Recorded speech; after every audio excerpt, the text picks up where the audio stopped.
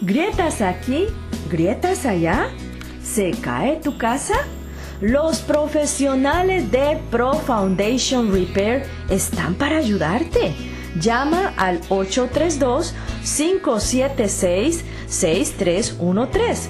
832-576-6313.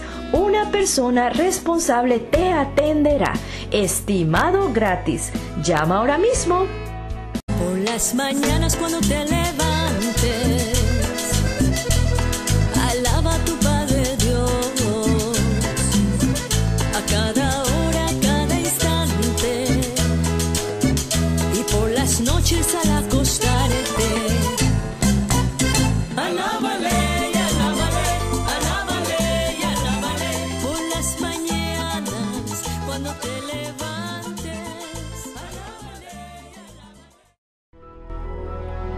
Jesús te ama es un programa diseñado para bendecir tu vida.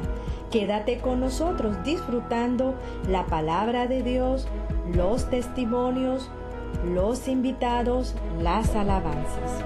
Nos puedes contactar a la información que aparece en tu pantalla. A continuación, Jesús te ama.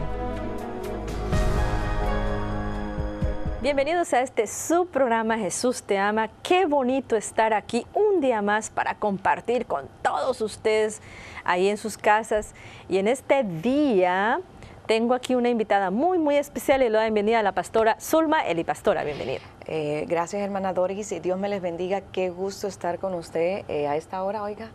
Es siempre un privilegio sentarme aquí con usted, una persona muy agradable, muy amorosa. Dios me la bendiga y siga bendiciendo su vida y, pues este, su ministerio también. Amén. Bueno, hoy vamos a estar aquí hablando un tema muy bonito, muy agradable sobre la alabanza y la adoración.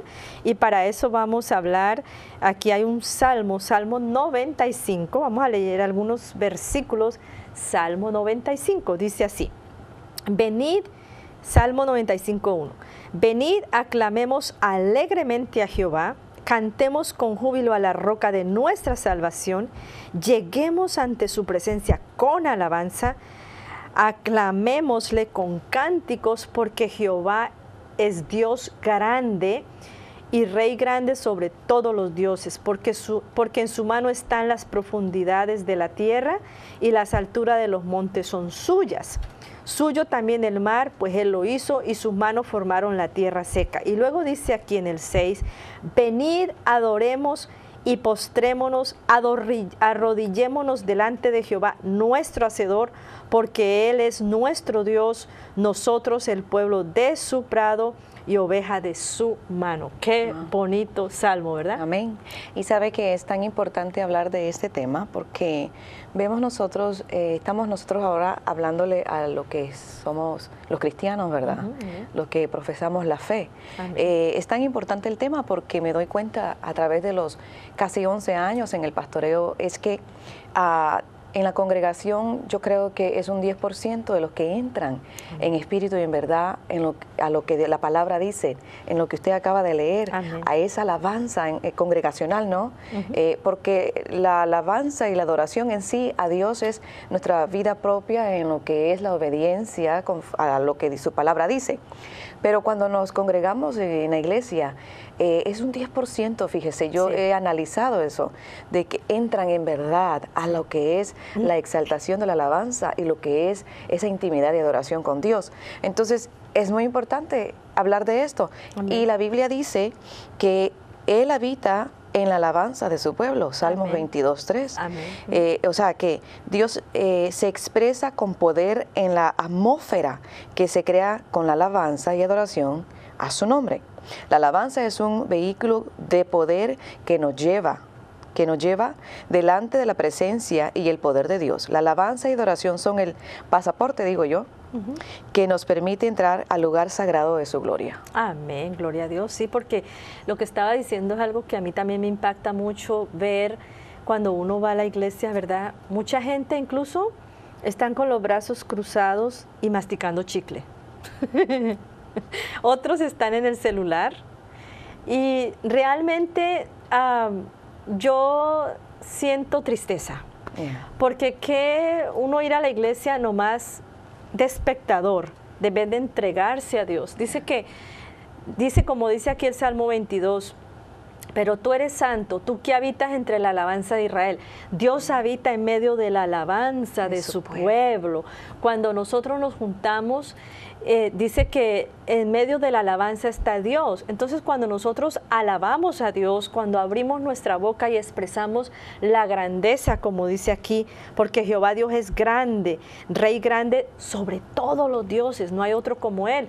Cuando nosotros expresamos la grandeza de Dios, proclamamos su nombre, como decía ahí. Dice que eh, ahí está Dios y Dios puede hacer maravillas cuando la gente está alabando. Hay una de las cosas que podemos ver es que, bueno, digamos, un ejemplo. eh, se admira mucho eh, la persona que viene a ser presidente de una nación, ¿verdad? Podemos decirlo porque cuando vemos en la televisión, en los medios de comunicación, vemos de que se les alaban mucho, o sea, la gente les aplaude, la gente le dice cosas eh, lindas, eh, los admiran muchísimo por, eh, por pues, lo que han alcanzado. Ser presidente de una nación no es cualquier cosa, ¿no? Entonces, am, yo me pongo a analizar eso. Y, y es muy cierto que Jesucristo dijo de que si ahora que estoy aquí entre ustedes no me cree, no me creéis, ¿cómo será cuando yo me vaya? Y esa es una realidad. Entonces, aquí es que nosotros entendamos de que es tan importante de día a día de día a día, en donde sea que estemos, o sea que eh, nos levantamos desde ese momento, eh, levantarnos con agradecimiento, con acción de gracias a nuestro Dios, alabando su nombre, eh, donde sea que andemos, en el trabajo, en nuestros carros, alabemos y glorifiquemos a nuestro Dios y cómo no, en la congregación reunidos en su nombre. Y eso yo le digo una cosa, yo he experimentado eso, hermana Doris, y eso trae una paz maravillosa. Sí. ¿Sabe qué? Trae alegría, trae gozo a Amén. nuestro espíritu, a nuestra alma. Amén. Es muy importante que nosotros entremos en, en- en esa obediencia, porque eso es lo que Dios desea y eso es lo que la palabra de Dios dice. La alabanza significa alabar, aplaudir y magnifi- magnificar. Para los cristianos significa una expresión de adoración, levantando y glorificando el nombre de Jesús. Es una expresión de hacernos humildes a nosotros mismos y entrar a- en- y centrar nuestra atención en el Señor con el corazón lleno de expresiones de amor. Amén, gloria a Dios. ¿Sabe algo? Me viene a mí ahorita aquí a la mente que muchas veces nosotros am, cantamos, por decir algo, o muchas veces hay gente que canta, por decir algo, cantos seculares. Ajá. Levantan la mano, gritan, lloran. Sea que la letra, este, la lírica de esa canción esté horrible, Horrible. pero no lo, no lo analizan, No o lo sea, no lo piensan, simplemente es por el ritmo de lo que están... Sí, y entonces muchas veces un canto de alabanza y adoración a Dios, la gente no lo quiere cantar. Cuando nosotros, yo sé que usted que me está mirando, probablemente usted venga del mundo, ¿verdad? Y muchas veces nosotros cantábamos las canciones ah, de antes y las tocábamos todo el día y las cantábamos todo el día. Y en la iglesia vamos y no queremos cantarle a Dios Y aunque la canción diga... lo bonito. No, no le queremos cantar a Dios. Exacto. Pero también, ah, pastora, Dígame usted. alabanza y adoración, ¿verdad? Eh, decimos que alabanza es, ya dijimos, ¿verdad? Que es proclamar de la importancia y el valor de Dios, proclamar su grandeza, exaltar su nombre. Y adorar es rendirse, es postrarse. Amén. Hay un versículo aquí en Apocalipsis 5.8 y dice, y cuando hubo terminado el libro, los cuatro seres vivientes y los 24 ancianos se postraron delante del Cordero. La adoración es postrarse, es rendirse, es ofrendarse a Dios. También am, mi pastor traía una vez una enseñanza de que cuando uno levanta las manos, dice que este dedo eh, eh, eh, ocupa bastante parte del cerebro y cuando abrimos la boca ocupa la mayor parte del cerebro. Por eso es que dicen que manejar y hablar por el celular no es bueno, porque cuando hablamos estamos ocupando la mayor parte de nuestro cerebro, dice mi pastor que él es médico. Y sabe algo, por eso es que hay que alabar a Dios, porque cuando hablamos, cuando hablamos estamos ocupando la mayor parte del cerebro y cuando levantamos las manos, él decía que este dedo ocupa también bastante. Entonces, si alzamos las manos y hablamos, cantamos, entonces vamos a ocupar mayor parte de nuestro cerebro. Entonces Dios quiere que nosotros todo. Ajá. Él quiere todo. Pero como veníamos diciendo, vamos a la iglesia y qué tristeza que muchas veces gente está sentada.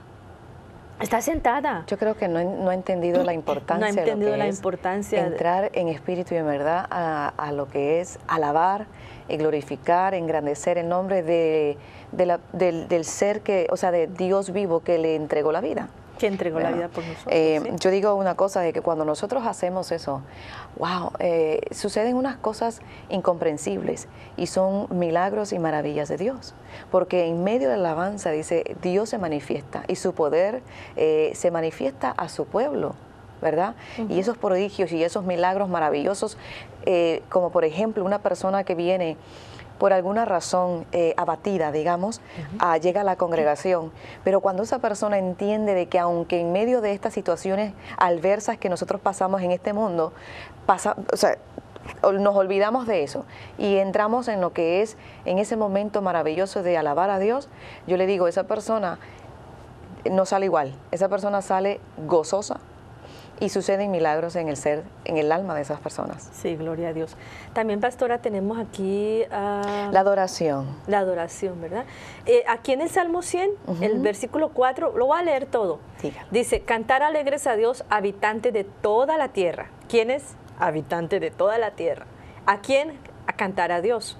Dice, servir a Jehová con alegría. ¿Cómo? Con alegría. Hay Ah. gente que llega más triste y no quieren estar alegres. Venir ante su presencia con regocijo.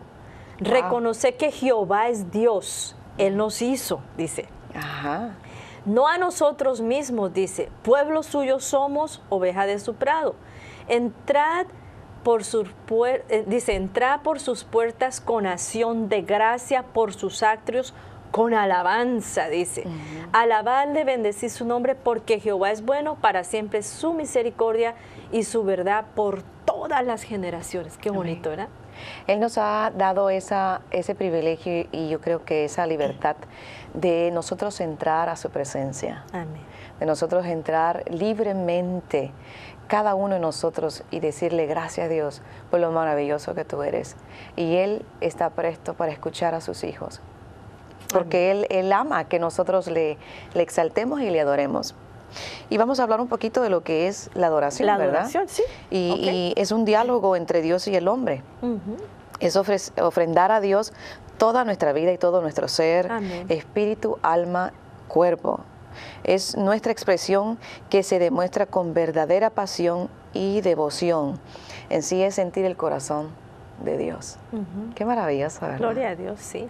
Usted ha experimentado, imagino que usted ha experimentado. Yo, eh, mire, cuando nosotros estamos en la congregación y estamos en ese momento, ¿verdad? Maravilloso, ese privilegio que nos da Dios ese momento que nos ha permitido llegar y reunirnos, ¿verdad? Yo, mire, si yo siento que el Espíritu Santo dice que me, que, que me postre, yo me postro. Sí. Porque yo sé de que eso es lo que Dios quiere. Sí.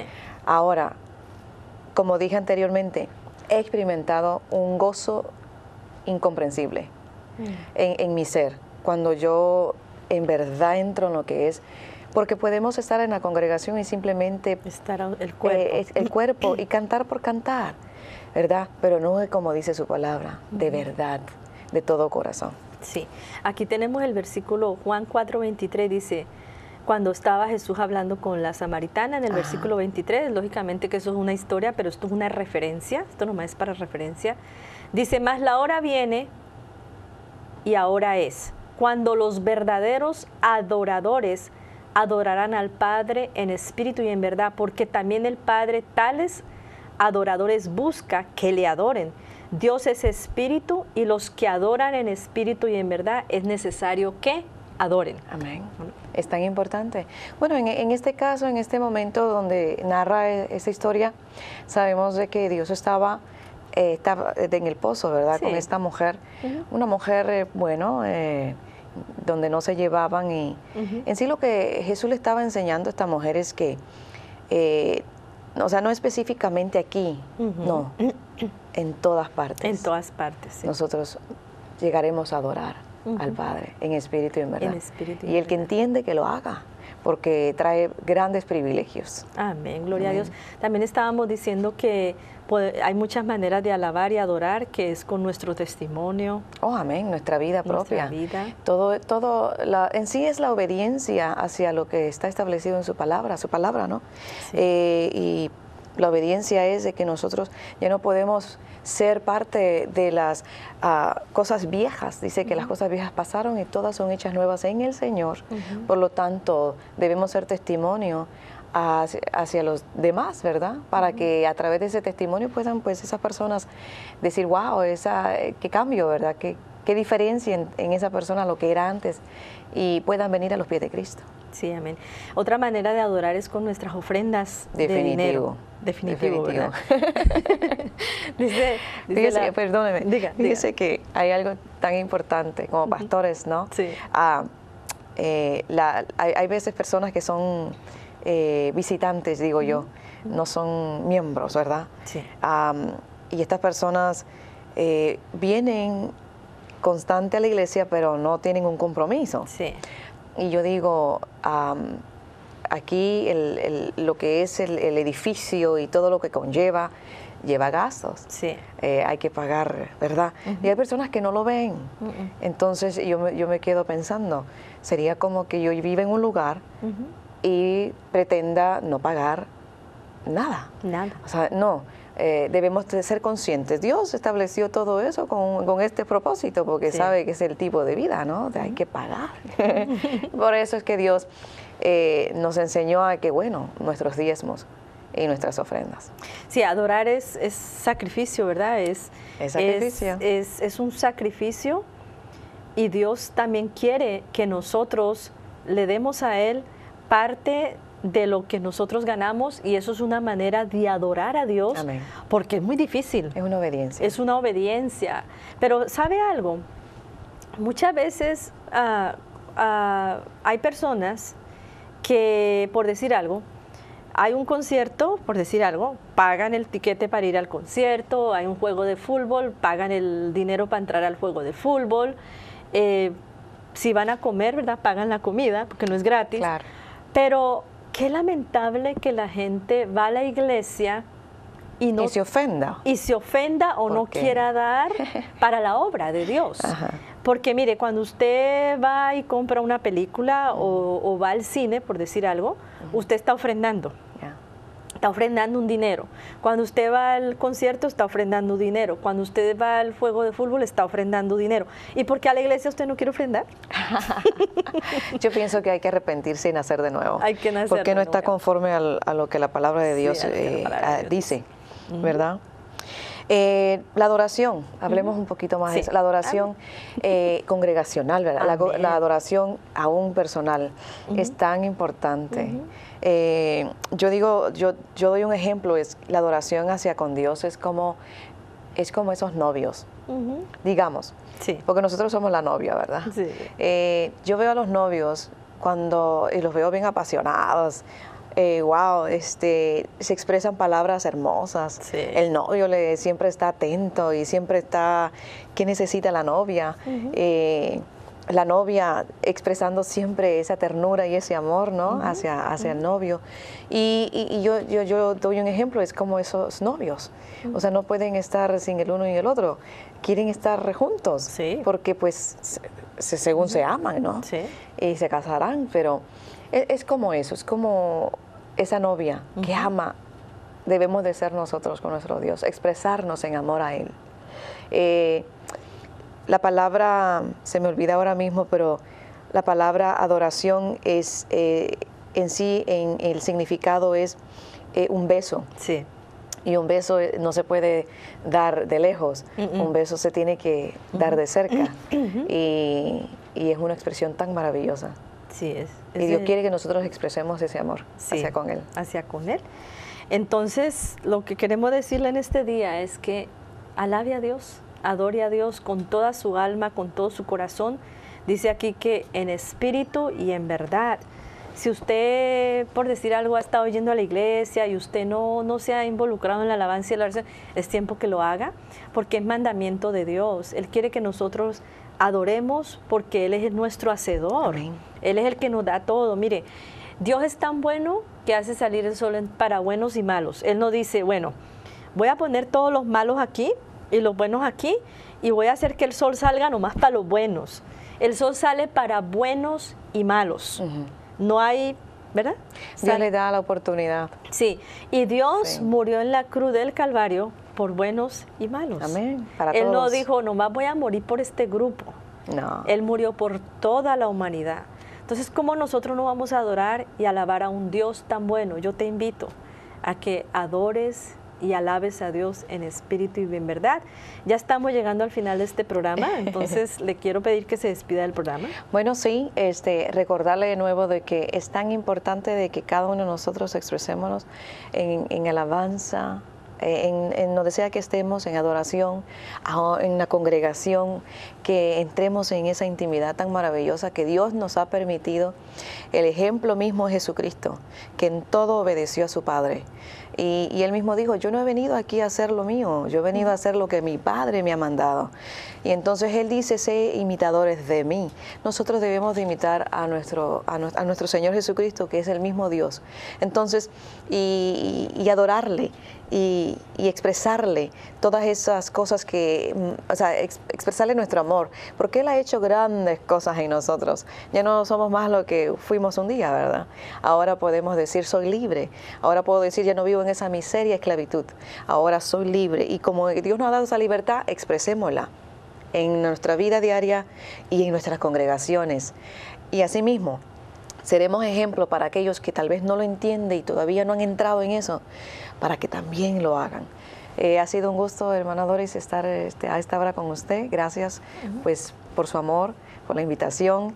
Dios me les bendiga y bueno, sigamos adelante en el Señor. Voy a leer este salmo, Salmo 150, dice, exhortación a alabar a Dios con instrumento de música, alabar a Dios en su santuario, alabarle en la magnificencia de su firmamento, alabar por sus proezas, alabarle conforme a la muchedumbre de sus grandezas, alabarle al son de bocina, alabarle con salterio y arpa, Amén. con cuerdas, flautas, con címbalos resonantes, con címbalo de júbilo, todo lo que respire alabe a Jehová, alaba a Dios y con instrumento, Una amén. cor- orquesta total, ¿no? Una orquesta total, con el cuerpo, con la voz, con las manos, con todo lo que tenemos hay que alabar a Dios. ¿Por qué? Por sus proezas. Yes. Quiero recordarle que este programa sale a través del internet por Nación www.naciontvdigital.com. También puede ir a mi página al www.dorismolinar.com. Ahí hay, ahí hay algunas alabanzas,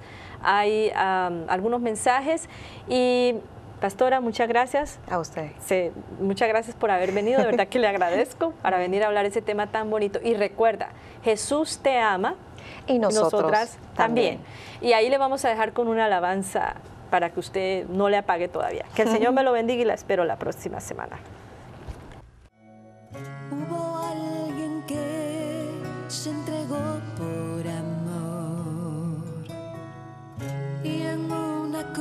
Pagó por mí.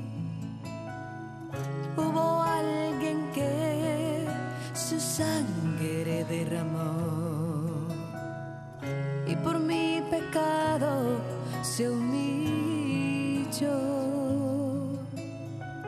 herido fue por mí, su sangre carmesí lavó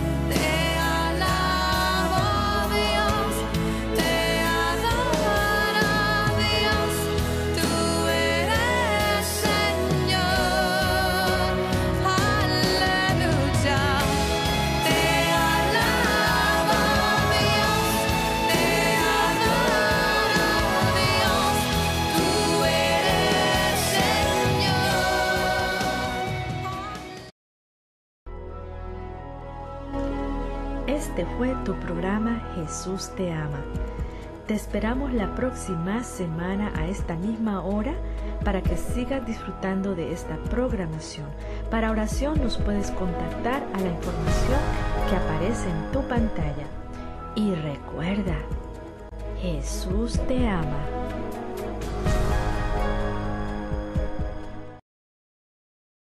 Por las mañanas cuando te levantes,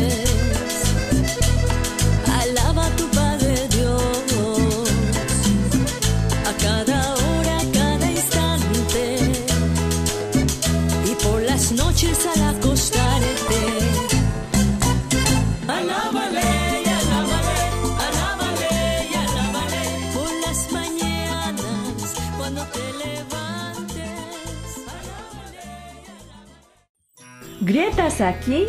¿Grietas allá? ¿Se cae tu casa? Los profesionales de Pro Foundation Repair están para ayudarte.